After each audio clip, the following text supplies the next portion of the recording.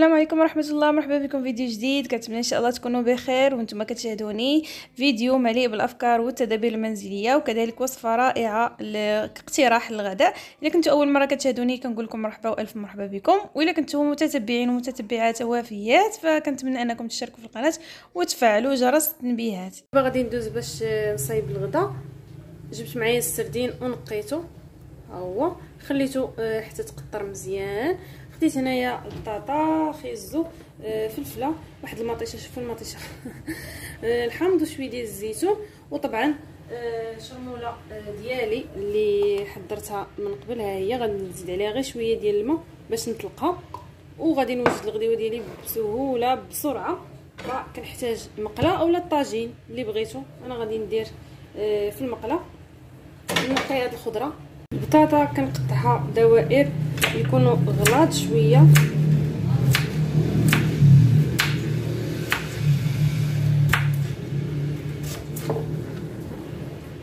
خيزو حتى هو كنقطعو دوائر آه شوية يعني ما يكونوش غلاط بزاف باش هكا ما ياخذش لينا الوقت في الطياب.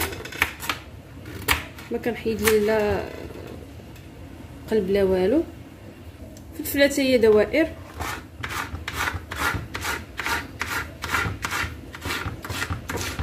مطيشه كذلك حتى هي دوائر؟ وطرونشات ديال الحامض. كناخذ المقله الثقيله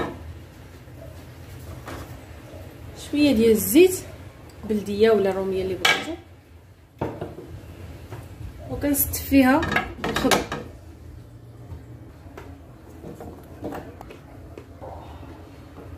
الشرموله ديالي زدت فيها شوية ديال الماء باش طلقتها. ها هي. بالنسبة لهاد الشرمولة هادي آه اللي ما شافش الفيديو ديالها غنخليه في صندوق الوصف. فيها الثومه فيها الربيع فيها الحامض آه العطرية كاملة. القزبر معدنوس آه مقطعين آه قزبر آه حبوب التحميرة مهم. آه فيها تقريبا كاع التوابل الكمون كلشي. كنخلطهم وكنحتفظ بها في الثلاجة راه كتبقى عندي أسبوع كامل هكا كنستعملها. صافي هنايا من بعد ما آه، سقيت الخضرة بلاصه صافي غادي ناخذ السردين نديرو ليه هكا شوية ديال شرمولة. وغادي نستفو في اللاط باش يجيني ساهل. غندير ليه بحال هكا غطسو.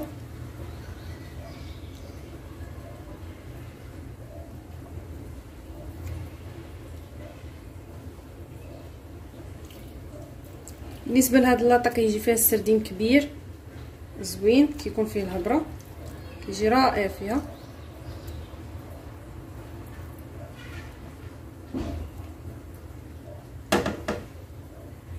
من بعد كنزيد طرونشات ديال مطيشة. باش كتطلق آه، مطيشة معروفة كتطلق الماء كنخليوها من الفوق. ونزيد طرونشات ديال الحامض حتى هما. ونزيدو الزيتون.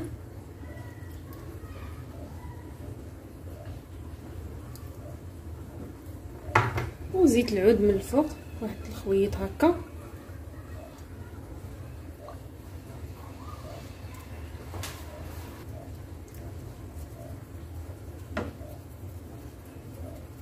والصينية ديال السردين بالخضرة صبحات موجودة. دابا عندكم الاختيار يا إما تدخلوها للفران غطيوها بورق الفرن ودخلوها للفران يا إما طيبوها غير فوق البوطة. أنا غادي نغطيها بمقلة أخرى قدها وغادي نطيبها غير فوق البوطة. ما بغيتش نشعل الفران صراحة. على عافية تكون مهيلة ما تكونش عافية كثيره راه كتجي لذيذة بزاف بزاف. آه كنصحكم تجربوها بحال هكا. آه طريقة صحية باش ناكلوا آه الحوت. أنا رشيت شوية المليحة من الفوق. وكتجي ما نقولش لكم كيفاش كتجي. على حسابي جربوها.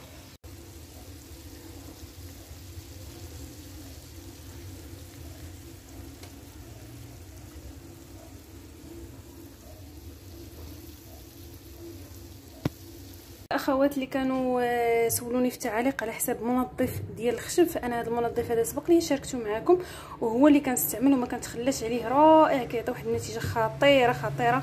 هذا المنظف هذا فكنحتاج ليه جوج ديال المكونات فقط. المكون الأول اللي هو حبوب ديال آتاي. كنحتاجو ملعقة صغيرة غديروها في كاس ديال آتاي ديال الماء.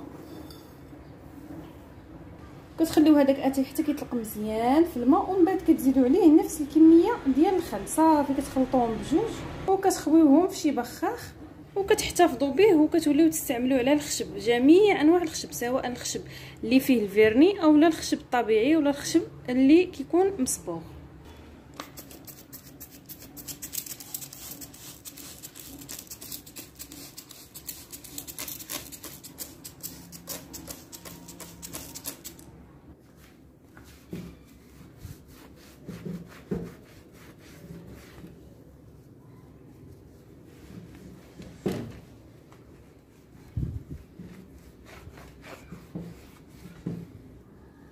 أنا هنا راني جربتو لكم غير هاد البليصه هادي.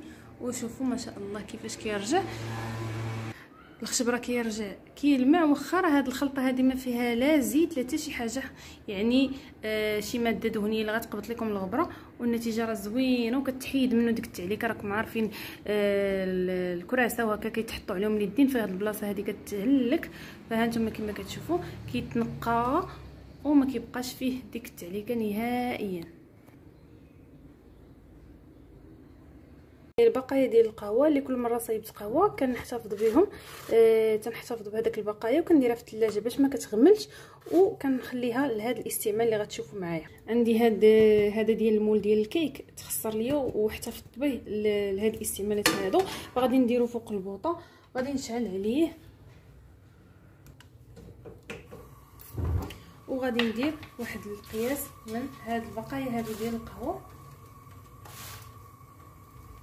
وغادي نخليهم كيتحرقوا كنخلي عافية مهيلة وكنخلي هذاك الدخان كيخرج بحال هكا كما شفتوا فهاد طريقة رائعة للدبان. دابا راكم عارفين الصيف جاي وهذه هي الوقيتة ديال الدبان خصوصا في الكوزينة.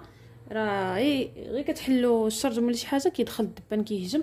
إلا كان عندكم هذا المشكل ديال الذباب بالخصوص استعملوا هذه الخلطة هذه عرفتوا هذه الريحة راه ما تيقدرش عليها نهائيا. انفو كنشعلها في الكوزينة. كنسد الباب ديال الكوزينة كنرجع ما كنلقاش نهائيا كله كيمشي. راه الريحة ديالها ما زويناش يعني ما ديروها حتى تكونوا باغيين يعني تكون ساليتو من المطبخ ديالكم مثلا وعاد باش ديروها وديك الساعة تسدوا عليه باش كي كيهرب. آه خليو نافذة محلولة وسدوا الباب. بالنسبة للناس اللي ما عندهمش يقول لي ما عندناش باب في كما قلت لكم هي راه كتخنق. أنا دابا حاليا كنصور حتى ما قدرتش ما قدرتش نكمل. فضروري خاصكم تخرجوا يعني اين فوا ديروها ديروها فوق البوطة نقصوا البوطة و وطفوا عليها وخليو هذاك الدخان كيخرج عرفتوا راه ما كيبقاش يدور الدبان نهائيا نهائيا آه وصفه رائعه جدا. وغندوزو للتدبيرة الموالية بخصوص الصنبور ديال المطبخ اولا ديال الحمام. كيكون مطبع كما كتشوفوا فغنشارك معكم واحد الطريقة بلا خلطة بلا كثرة المكونات فقط. واحد المنتوج اللي آه كيكون متواجد عند الناس اللي عندهم يعني الآلة ديال غسيل الأواني. فهذا هو الملمع اللي كنستعملوا ليها وكذلك ممكن أنكم تستعملوه في هذا آه الغرض هذا اللي هو تلمعوا به الصنبور. عرفتوا كيعطي واحد النتيجة رهيبة. آه كديروا منه واحد شوية في شي منديل وكتمسحوا به الروبينيات ديالكم. آه سواء المطبخ اولا الحمام شي حاجة ديال inox. عرفتوا كيرجعهم كيشعلوا في دقائق في ثواني. هانتوما شوفوا بلا خلطة بلا كثرة الحكان فقط كدوزوا ال produit وكتمسحوا وما شاء الله كيعطي واحد النتيجة رائعة صراحة. أنا ما كنتش آه رد عليها البال بأن هذا الملمع هذا فراه كيصلح حتى التلميع ديال هاد الحويجات هادو آه اللي كيكونوا مصوبين بال inox. فإلا عندكم الملمع ديال الغساله ممكن أنكم تستعملوه لهذا الغرض. وبالنسبة للروبيني فهنايا تكون فيه واحد الكمية هائلة ديال الكركر وما بقاش كيطلق ليا الماء مزيان كما كتشوفوا كتلقى الماء ضعيف. وكيعصب بصراحة. فاذا كان عندكم حتى نتوما هذا المشكل هذا ديال الصنبور ديال المطبخ تكون فيه الكركر فما عليكم إلا ديروا ليه هاد التدبيره هذه فراه كيرجع كيتسرح. دغيا دغيا. كتحتاجوا آه، بلاستيكة ديروا فيها واحد الساشي ديال خمارة ديال الحلوى وشويه ديال الخل وخليهم يتفاعلوا آه، مع بعضياتهم. من بعد كتزيدوا الماء. وكتحاولوا أنكم تثبتوا هذيك البلاستيكة على الصنبور بحيث أن يعني الراس ديالو يكون مغمور في هذاك الخليط بحال هذا الشكل هذا. غادي نحاول أنني نقبط الميكا بحيث أن الراس ديال الصنبور يكون مغمور. فخليوه يبات ليلة كاملة الصباح كتلقاو داك الكالكر كله زال وما بقاش منه نهائيا وبالتالي الروبيني تسرح ولا كيخرج الماء عادي جدا. وكنكون وصلنا لنهاية الفيديو. كالعادة كنتمنى إن شاء الله هاد التدابير يكونوا عجبوكم. ما تبخلوش عليا باللايك ديالكم راه كيشجعني بزاف على الاستمرار. وشكرا لكم على حسن المتابعة. خليتكم على خير. بسلام عليكم.